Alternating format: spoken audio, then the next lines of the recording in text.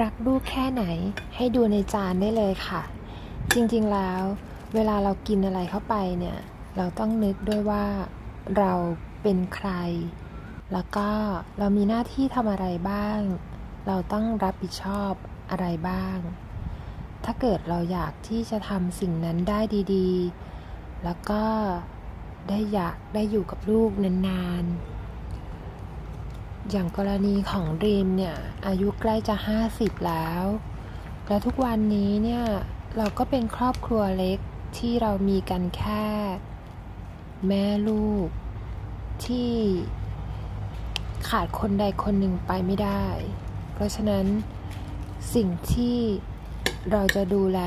กันและกันได้ดีที่สุดก็คือเรื่องอาหาร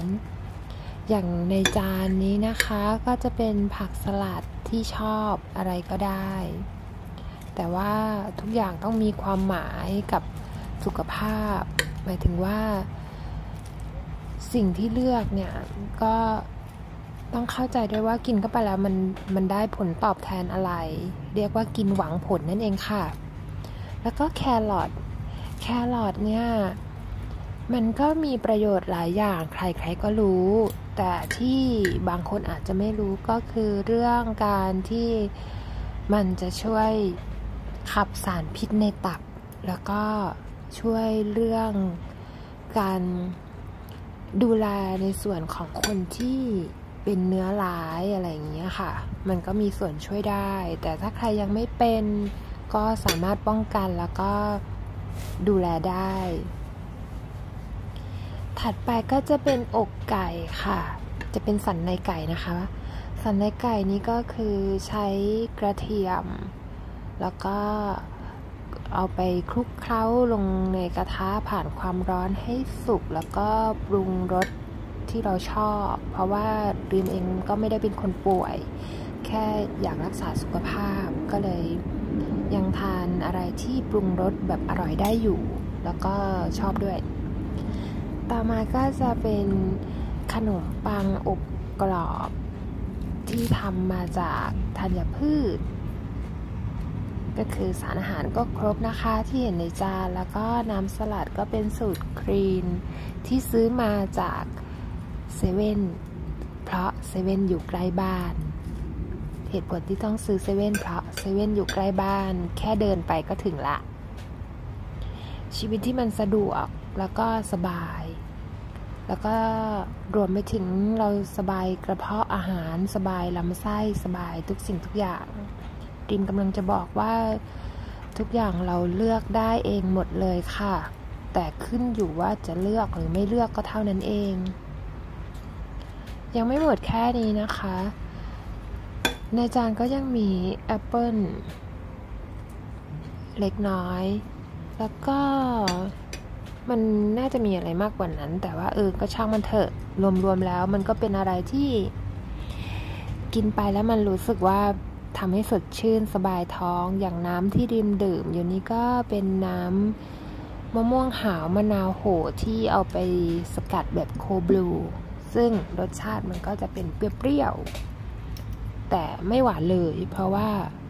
ผลไม้ดั้งเดิมมันไม่หวานก็เลยไม่หวาน ก็แทนที่จะดื่มน้ำเปล่า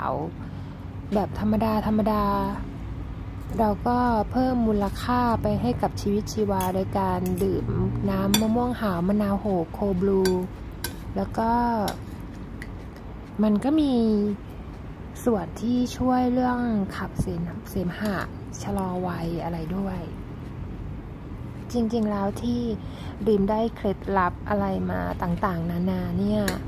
ต้องขอบคุณลูกค้าที่มาที่ร้านนะคะ เพราะว่าดีมาทำร้านคลายกล้ามเนื้อชะลอวัย ต้องเจอกับคนเยอะมาก แล้วก็เจอเฉพาะผู้หญิง เพราะร้านเรียนมีเฉพาะผู้หญิงที่มาใช้บริการดีเป็นคนดูแลเองค่ะ ก็เลยเลือกรับเฉพาะผู้หญิง เราจะเข้าใจอาการของผู้หญิงด้วยกัน ทั้งกล้ามเนื้อแล้วก็สุขภาพอารมณ์และความรู้สึก เพราะฉะนั้นเป็นงานที่ดิมทำออกมาได้ดี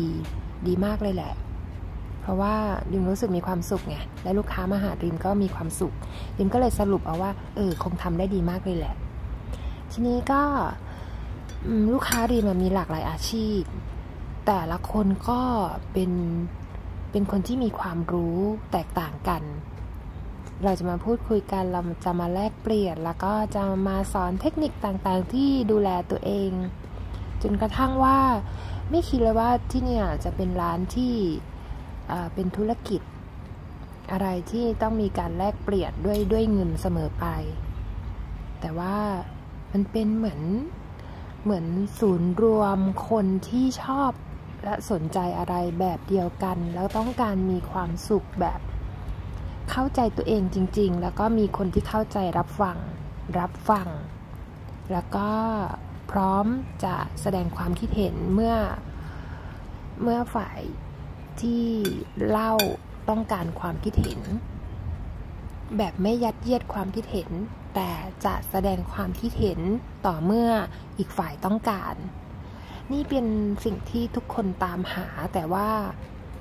ไม่รู้ว่าจะมาที่ไหน ไม่รู้ว่าจะเจอได้ยังไง ถ้าใครอยากพูดคุยหรือเล่าเรื่องที่แบบ เล่ากับใครไม่ได้แม้กระทั่งเพื่อนสนิท โลกนี้ไม่มีใครเลย ที่สามารถพูดเรื่องบางเรื่องได้ ก็ให้นึกถึงว่ายังมีร้านแบบนี้ค่ะ ที่มีไว้เพื่อดูแลผู้หญิงด้วยกัน บางคนเล่าเรื่องที่เขาเก็บมานาน แล้วพอเขาได้เล่าแล้วเขารู้สึกดี ชีวิตเขารู้สึกโล่งขึ้น สมองเขารู้สึกโล่งขึ้น รู้สึกได้ขจัดขยะที่ลกล้างในใจหมักหมมมานานดีมเองก็รู้สึกดีใจที่มีส่วนที่ได้ช่วย ให้เขารู้สึกว่าเขาโล่งขึ้น เขาผ่อนคลายขึ้น ต่อจากนั้นกล้ามเนื้อเขาก็ดีขึ้นด้วยการคลายกล้ามเนื้อ สมองเขาก็ปลอดโปร่งมากขึ้น พร้อมที่จะไปใช้ชีวิต ได้อย่างมีความสุข เริ่มเห็นหนทางที่จะมีความสุขได้ในทุกๆวันกับทุกๆเรื่อง เพราะฉะนั้นดิมเองก็มีความจำเป็นที่ต้องดูแลสุขภาพของตัวดิมเองเพื่อ 1. ได้ดูแลลูก 2. ได้ดูแลทุกคนที่เข้ามาเป็นเพื่อนกับดิมดิมไม่เคยคิดว่าทุกคนเป็นลูกค้า เพราะว่า ดิมไม่ได้ต้องการแค่รับเงินจากเขา แต่ดิมต้องการให้เขาสบายใจเหมือนเหมือนเขามาหาเพื่อน มันเลยเป็นที่มาของการที่ดิมต้องดูแลตัวเองเยอะๆ มากๆ ดูแลให้ดี ทุกอย่าง เช่น ไม่ไม่ไปเสพข่าวที่มันมันร้ายๆ แล้วเราช่วยอะไรเขาไม่ได้ แล้วก็ไม่คอมเมนต์ต่างๆ เรื่องราวที่ไม่เกี่ยวกับเราที่ร้ายๆ แล้วก็ไม่ไม่ปัดภาระความรับผิดชอบในการเลี้ยงลูกดูแลลูกเนี่ยให้คนอื่น เราคิดว่า ความรับผิดชอบในการเลี้ยงลูกของดีมเนี่ย ทุกวันนี้มันสร้างมูลค่ากับดีมในการทำงาน ในการมีรายได้ แล้วในการที่มีเพื่อนๆที่เป็นลูกค้าดีมเนี่ยเข้ามาเป็นเพื่อนดีมดิมได้สิ่งนี้จากการที่ดิมตั้งใจเลี้ยงลูก แล้วก็ตั้งใจฝึกลูกสอนลูก จนกระทั่งดีมเองเนี่ยเป็น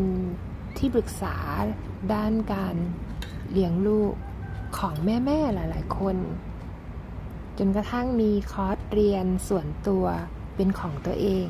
ที่สอนแม่ ๆ ที่เขาต้องการแก้ไขพฤติกรรมและปัญหาต่างๆ ภายในบ้าน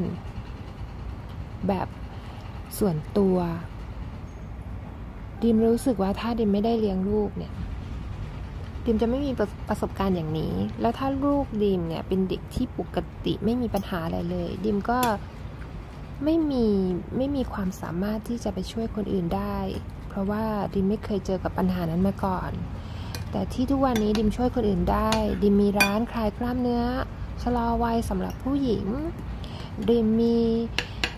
หลักสูตรที่จะสอนพ่อแม่ในการปรับพฤติกรรมดูแลลูก ก็เพราะว่ามันมาจากประสบการณ์ตรงที่มันละเอียดยิ่งกว่างานวิจัย เพราะว่ามันวัดผลด้วยลูกของเราเอง ว่าสำเร็จแล้วทุกคนทำได้ค่ะ